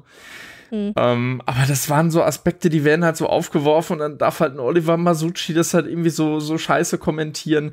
Boah, ganz ehrlich, der, der tut mir so leid, weil ich mag den unheimlich gerne und der hat wirklich absolut nichts zu tun. Also er hat vielleicht ein bisschen mehr zu tun als Klaas, ähm, der wirklich so lucky to be hier ist, aber ja, mehr ist da auch nicht. Also, hm, ja. Äh, aber um vielleicht, äh, ich weiß nicht, habt ihr noch Aspekte, die ihr unbedingt ansprechen wolltet? Vielleicht Manuel noch was? Ich noch was? Nö, ich glaube, wir haben mittlerweile fast alles gesagt, oder? Mhm. Ich habe nichts mehr. Haben die anderen noch was hinzuzufügen? Lieber nicht. Weil dann äh, würde ich noch mal drauf kommen, was wir ja schon so mehrere, mehrere Male gestreift hatten, äh, eine potenzielle zweite Staffel. Würdet ihr die überhaupt sehen wollen? Also man kann ja aus Fehlern lernen. Mhm. Also ich würde wahrscheinlich äh, mir es angucken. Wenn, und dann halt gucken, wie es. Ich weiß nicht, was die Idee sein wird, ne? Wenn Mhm. sich vom Buch lösen, ob das gut oder schlecht sein wird, keine Ahnung. Äh, wenn man aus Fehlern lehrt und vielleicht irgendwie das in ein bisschen eine andere Richtung macht und äh, Dinge verbessert, aber ich glaube ehrlich gesagt nicht, dass es passiert. Aber ich meine, die Zahlen sind ja nicht so scheiße. Tatsächlich. Also wenn man, jetzt- was war das irgendwie am ersten Tag? fünf Millionen und jetzt waren es noch Sieben Millionen sogar, Äh, also Tagessieger. oder sieben Millionen, dann fünf und jetzt vier. Also es geht schon schlechter, ne? Für drei aufeinanderfolgende Tage und das ist nicht mit Mediatheken-Zuschauern. Ja, es ist aber auch äh, eklatant eingebrochen, dann schon am zweiten Tag. Ne? Also die Premiere hatte irgendwie 6,8 Millionen, also wirklich fast 7 Millionen. Und dann ist es aber wirklich um, ich glaube, 1,5 äh, Millionen, also rund 20 Prozent eingebrochen. Aber für unter, Das äh, Ja, hart. aber- unter der Woche ist das nicht schlecht. Ich weiß nicht, wann lief dann äh, 3 und 4? War dann nicht auch gleichzeitig Champions League und so? Also weiß ich nicht. Und da ist es recht konstant geblieben. Also das waren dann 4,5 Millionen statt jetzt 5, irgendwas. Also mein Gott, und die Leute holen das dann in der Mediathek nach. Genau, man musste auch mal gucken, was ist im Verhältnis, also ich- mich würde die Gesamtzahlen mal interessieren. Also Gesamtzuschauerzahlen versus das, was reingesteckt wurde an Geld. Es muss ja eine Erwartung da sein, was, was an Zuschauerzahlen mindestens, was Ja. sie mindestens bekommen haben möchten. Und dann glaube ich tatsächlich, dass es sehr viel mehr ähm, Streamings in der Mediathek gegeben hat, als wir das meinen. Also ich glaube, das reißt wahrscheinlich eine ganze Menge raus.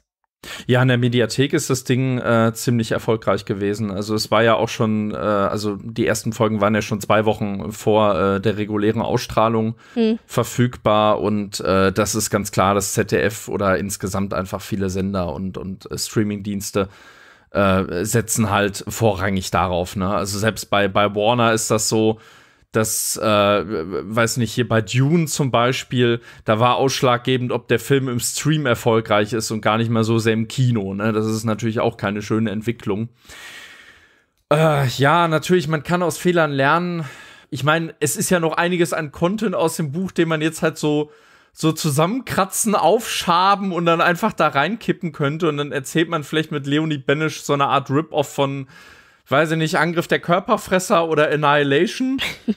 Aber oh, ich, ich weiß echt nicht, ob ich es mir ansehen will. Vor allem, es haben, es haben auch echt erstaunlich viele, die im Buch auch schon über die Wupper sind, leben hier noch. Und ich weiß nicht, ob ich die unbedingt alle so wiedersehen möchte. Die Also- können dann ja früh sterben. ja. ja. Also wenn sie daraus lernen, Ja. ich meine, man sieht jetzt auch gar nicht so richtig, das Ende lässt dann ja schon, lässt ja viele Fragezeichen offen. Oder sieht man irgendwo, dass sich Krabben zurückziehen oder dass die Irre sich quasi, Nein. äh, ne, das sieht man ja alles gar nicht. Das heißt, Nee. das könnte man dann zeigen in der zweiten Staffel und dann könnte man ja vielleicht dann doch das aus dem Buch aufgreifen, dass dann das Militär sagt, hey, Moment, äh, wir wollen nicht, dass das nochmal passiert. Jetzt schicken wir aber mal die Kriegsschiffe und versuchen die zu vernichten und daraus dann irgendwie einen Handlungsstrang zu machen und dann hat man eben äh, der Charlie Wagner, äh, dieser, die jetzt aber in sich trägt und sagt, nein, das ist meine Familie und meine Eltern sind auch im Meer ertrunken und die sind jetzt in mir, ich möchte das nicht und keine Ahnung. Und dann dagegen ankämpft. Ja, da könnte man schon was draus machen. Wenn so die erste, zweite Folge gut wäre, würde ich dann vielleicht auch dranbleiben, aber wenn ich dann schon wieder merke, die starren wieder nur auf Bildschirme und es sind immer nur in so blau, bläulichen Räumen, alles ist immer abgedunkelt, dann denke ich mir, Und immer wahnsinnig viele Nahaufnahmen, genau. Und die, die wirklich so, oh, ja. dann bin ich da wieder raus. Nee. Also man hätte noch Potenzial tatsächlich. Man kann das vielleicht das Ruder noch rumschmeißen. Aber ich glaube, ich, äh, das soll nicht despektierlich wirken, aber ich glaube, das ZDF hat da gar kein, also würde das gar nicht so machen. Weil wenn die jetzt ja merken, das ist ein Erfolg und wir machen das, dann, dann verbuchen die diesen Erfolg und dann nehmen die für sich ja an, ja, so wie wir es gemacht haben, ist gut. Und dann machen die das auch so weiter. Dann sehen die ja gar keinen Grund dazu, das zu ändern. Ja, vor allem ist halt, es ist halt so die Frage, was sie sich so von der Kritik annehmen, ne? Also, das war ja auch so ein Ding. Ich meine, Frank Schätzing hat sich ja schon wirklich harsch geäußert. Also bei ihm fiel ja auch dann im äh, Interview mit Welt fiel dann auch so äh, äh, hier böse Wokeness und so, ne? Äh, da muss man jetzt auch gar nicht weiter drauf eingehen, aber äh, zum Beispiel Barbara Eder hat ja äh, beispielsweise gemeint, also sie hat den Schätzing wohl nie getroffen, also die Regisseurin jetzt Barbara Eder, sie hat den nie getroffen und war dann aber der Meinung, ja, am Ende konnte er halt, wie das so bei vielen Autoren ist, einfach sein Werk nicht loslassen. Hm. Ja, also die Argumentation kann ich schon irgendwie nachvollziehen, aber sie, sie passt hier nicht. Und leider muss man sagen, das Schätzing, es, es tut mir auch in der Seele weh, weil ich den Mann wirklich wahnsinnig unsympathisch fand, als ich ihn äh, einst getroffen habe in der Betriebsküche. Und äh, äh, man muss ihm leider wirklich in vielen, vielen Aspekten beipflichten. Vielleicht nicht in dieser, dieser äh, wirklich zersetzenden Härte, aber es ist halt schon, es hat halt schon Gewicht, was er von sich gegeben hat, ne? Muss man sagen, leider. Ja, man muss dem Schätzinger zugute ha Mhm. halten, dass er ja schon eine gewisse Vision hatte mit dem Buch. Ja. Und die kommt in der Serie nicht rüber. Nein. Also äh, generell hat die Serie keine Vision. Und dann kann ich das schon verstehen, wenn einer, ich meine, weiß nicht, über wie viele Jahre er Gespräche mit, was weiß ich, mit äh, welchen Schleimern äh, da gemacht hat, die alle gesagt haben, ah, wir wollen gerne die Rechte deines Buchs haben, wir wollen das jetzt so und so verfilmen, wir holen den und das und jenes und ach, du bist auch mit an Bord und so. Und dann fängt's an und dann weiß nicht, kriegt er vielleicht den ersten äh, Drehbuch-Draft und dann heißt, nee, Militär lassen wir raus, das ist uns zu heikel. Ah, nee, nee, die Japaner, ja, ich weiß, die, das sind so Walfänger und so, aber nee, das müssen die Helden sein, weil die zahlen nämlich auch ein bisschen Geld. Mhm. Ah, nee, nee, wir können New York nicht untergehen lassen, das ist, äh, da ist die UN und so und das ist zu heikel. Irgendwie sowas, keine Ahnung. Dann denke ich mir auch, hä, wollt ihr mein Buch überhaupt noch verfilmen? New New York brauchen wir für die äh, bedeutungsschwangeren äh, Konferenzen, Konferenzen, an äh, ja. Tischen im, im, äh, im B-Raum so ein bisschen. Ne? Genau. Ja. genau, richtig. So, und da wäre ich auch pisst, also ganz ehrlich. Ja gut, ich würde sagen, wir machen mal den Deckel drupp. David und ich, wir, wir äh, tuten da so ein bisschen ins selbe Horn. Es ist irgendwie ein bisschen egal alles. Ja, man wird sehen. Also ich, ich glaube nicht, dass eine zweite Staffel kommt. Man hatte ja gehört, dass die, also hatte ich jetzt auch gehört, dass die beim Dreh irgendwie alle sehr hoffnungsvoll waren, dass sie irgendwie noch, noch weitermachen wollen. Äh, selbst Klaas Häufer Umlauf, wo ich mich dann frage, wie soll er zurückkommen? Aber ja gut, ich meine, es ist ja einiges möglich mit, den, mit dem Viechzeugs da, ne? Wir werden sehen. Was auf jeden Fall mir deutlich mehr Spaß gemacht hat, jetzt als, mit, äh, als die eigentliche Serie ist, mit euch drüber zu reden, im Guten wie im Schlechten. Dafür danke ich euch. Äh, natürlich auch Torben nochmal äh, und natürlich auch euch, liebe Zuhörerinnen und Zuhörer da draußen. Ihr dürft uns natürlich gerne in die Kommentare schreiben, wenn euch die Serie vielleicht besser gefallen hat. Und ganz ehrlich, ich möchte wirklich, dass hier jemand aufkreuzt und sagt, ich mochte das Buch und ich mochte die Serie.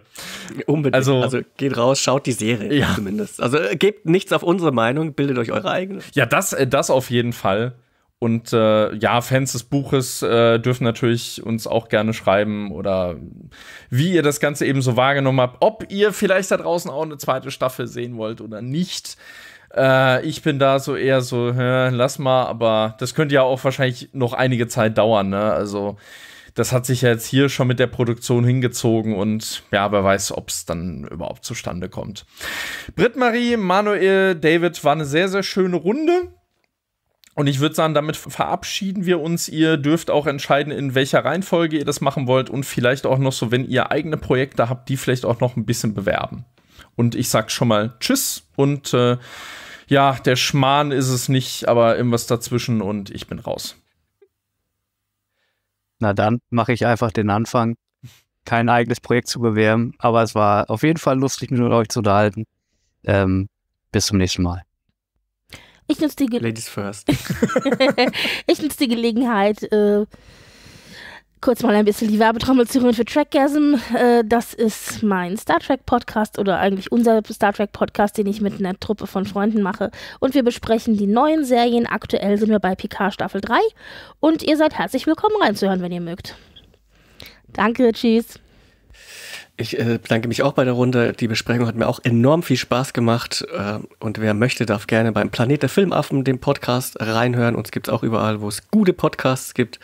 Und ich sage auch Tschö und vielleicht bis irgendwann. Sehr geehrte Damen und Herren, wertes Publikum, liebe Hörende, vielen Dank für eure Aufmerksamkeit und Zeit. Ich hoffe sehr, euch hat gefallen, was ihr gerade gehört habt. Wir, die Redaktion des Telestammtisch, betreiben ein semi-professionelles Podcast-Projekt zum Selbstmitmachen. Also meldet euch bei uns, wir beißen auf. Außerdem freuen wir uns immer über Feedback via Social Media und E-Mail sowie euren finanziellen Support.